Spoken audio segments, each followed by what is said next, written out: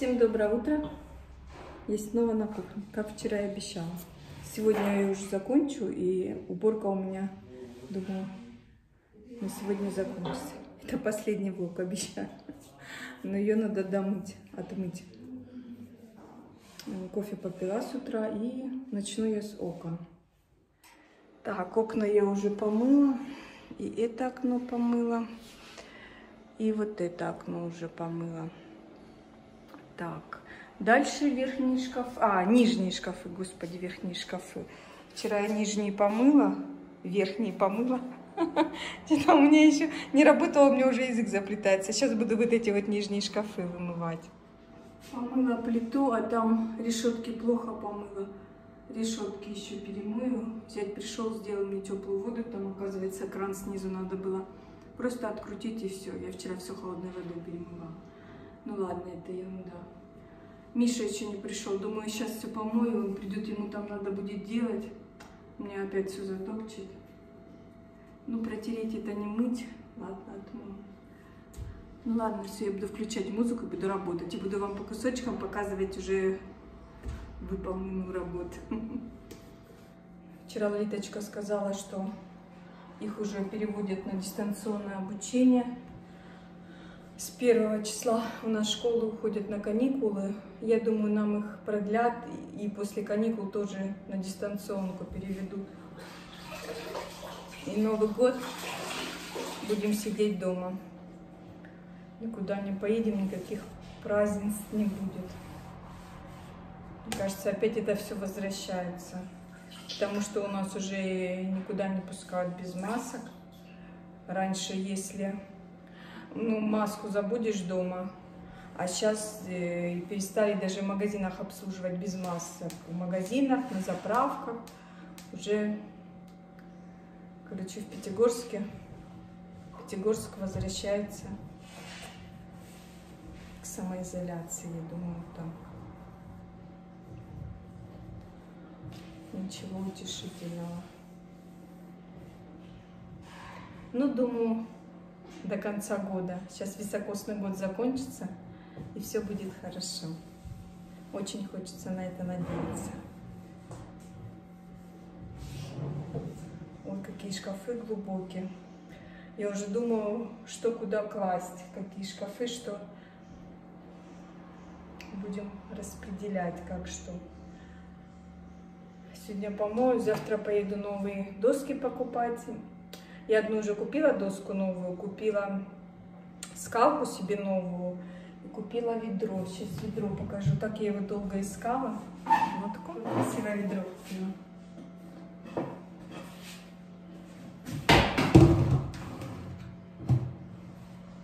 И вот в этом углу будет. Я хочу ту птичку поехать купить. Это сольница.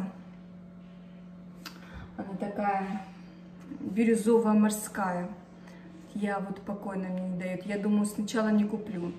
Если я о ней вспомню, я вернусь, куплю. Вспомню. Я о ней каждый, каждый час думаю. Точно надо будет ее покупать. Она просто даже может э, как декор быть. Не обязательно быть сольницей, потому что у нас сольниц дома очень много. Можно что-нибудь под нее придумать, но она там с ложечкой. Можно под какую-нибудь специю, которую часто использую. Или просто как декор. Но я ее обязательно пойду куплю. Я уже как, какой раз о ней вспоминаю. Ну ладно, все, я спускаюсь ящички мыть. Самое... Туда-сюда Самое главное, я переживаю, что нас опять на карантин закроют на второй, чтобы стройматериалы все купить для квартиры, потому что мастера сейчас не говорят, что надо, говорит, мы сейчас дома закончим, как пойдем на квартиру, уже там на месте разберемся. Я вот за это больше всего переживаю. Если бы уже было все готово, и квартира отремонтированная, и все, я бы не переживала, пусть закрывают. А так, если опять сейчас закроют магазины, и негде будет это все покупать, опять эта квартира в таком подвешенном состоянии останется, я не знаю. Я просто буду нервничать. А так, если быстренько сейчас они нам ее сделают, все отмою, замкну и пусть закрывают. Уже буду спокойно. и закроют, потом опять непонятно, когда, когда, что и как. Это будет нехорошо.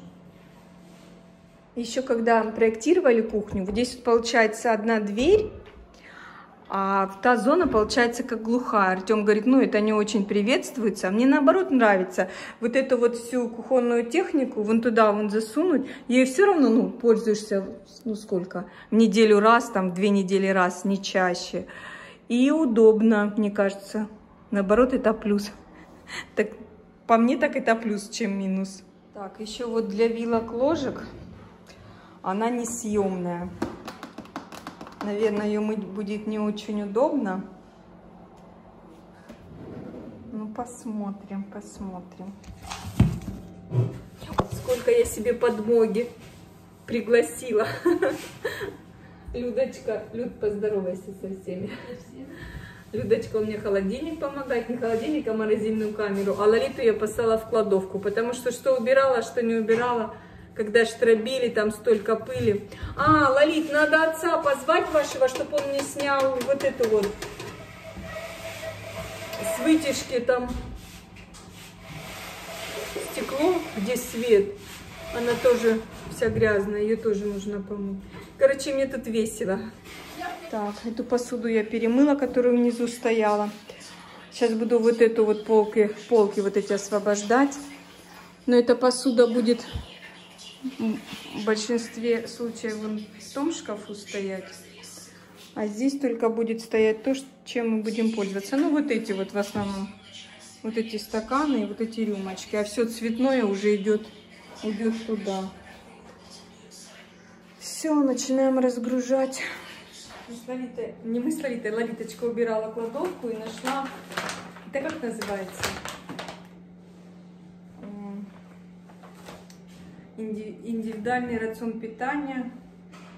Это, короче, военным выдают. Я не знаю, откуда у нас этот пакет. Это во... А?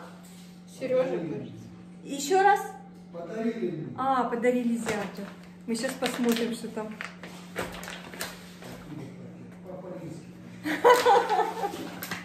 Зять умничает.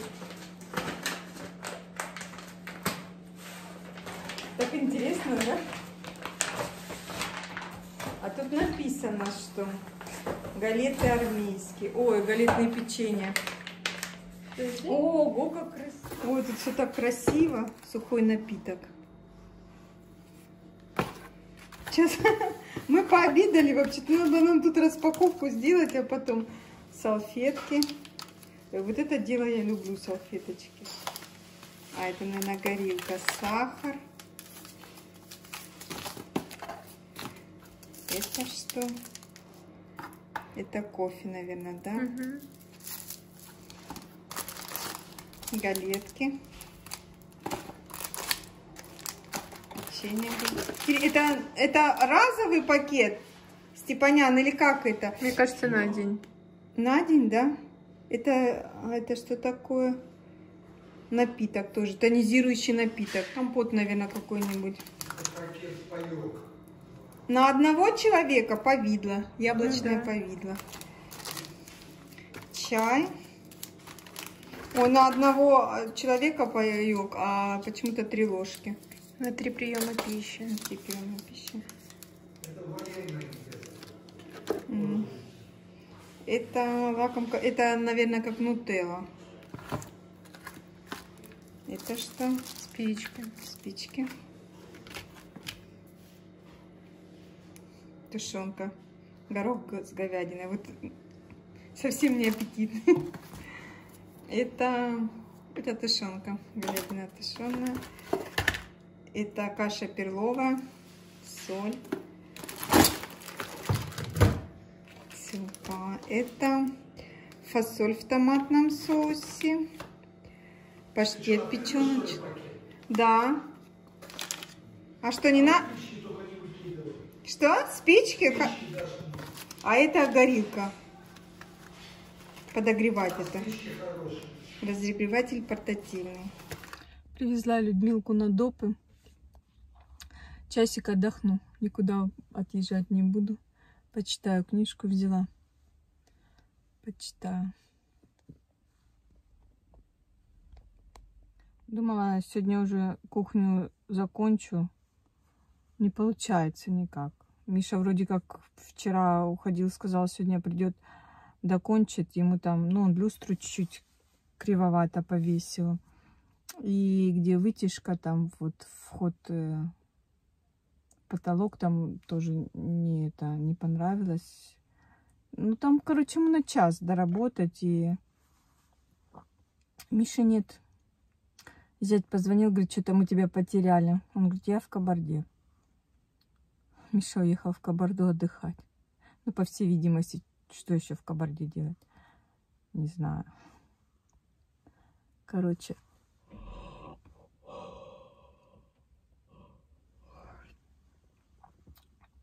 У меня последнее время, как вот после обеда сажусь в машину за руль, у меня зевота нападает. Не знаю, то ли сердечная недостаточность какая-то, то ли я не знаю, что. Вот прям спать хочу, рубит меня и все. Ой, думала, почитаю. Читать неохота, не знаю. Хочется. Хочется тоже в Кабарду уехать. Хочется какое-нибудь красивое место уехать. Куда-нибудь на 2-3 дня чтобы тишина была, куда-нибудь в горы или, не знаю, куда-нибудь в какое-нибудь красивое, красивое тихое место хочется уехать. Так что Мише завидую по-доброму. если он поехал в Кабарду отдыхать, если он поехал в горы отдыхать, то ладно, потерпим еще день. Столько, столько ждали, еще день потерпим. Уже, уже света мало, не знаю, куда камеру выставить. Не знаю, если получится сегодня еще поснимать, что я там доубирала, чтобы завтра опять эту уборку не показывать. Поснимаю, если нет, то буду прощаться. Спасибо, что были со мной. Увидимся завтра. Отдельное спасибо за лайки, за комменты. До завтра.